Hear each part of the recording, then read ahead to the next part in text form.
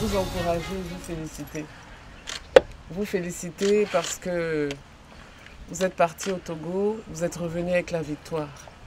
Et maintenant, vous allez monter plus haut. Et on est venu pour vous dire qu'on a confiance en vous.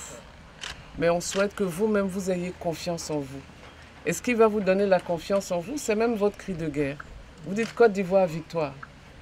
Donc ça veut dire que vous-même, vous vous attachez à la victoire. Et ça, c'est très important. Nous, on est derrière vous. On vous soutient. Mais la victoire, elle est au bout de vos pieds. Hein? Donc, on est vraiment venu vous encourager et vous dire que vos papas, vos mamans, euh, toute la Côte d'Ivoire est derrière vous. Vous avez peut-être l'impression qu'on ne vous voit pas, mais on vous voit très bien. Et vous êtes jeune, vous voulez faire du football votre métier, mais c'est l'occasion unique que vous avez pour montrer qui vous êtes. Alors quand vous êtes sur le terrain, dites-vous que votre, euh, votre futur, c'est ça. C'est à partir de ça qu'on va découvrir les talents que vous avez et que vous pourrez être de très grands joueurs comme vos autres compatriotes. Mais vous pouvez compter sur nous.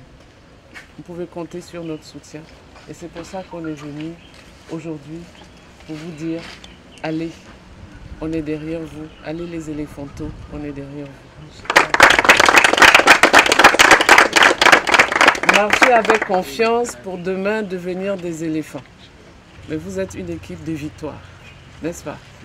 D'accord.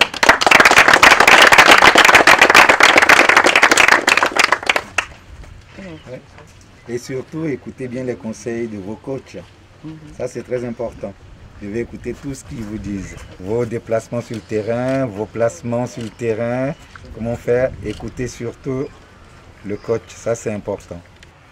Donc, victoire Côte d'Ivoire, victoire pour la Côte d'Ivoire et victoire pour tous les jeunes de Côte d'Ivoire. Parce que les jeunes de Côte d'Ivoire comptent sur vous. Donc, soyez toujours la tête devant. Voilà.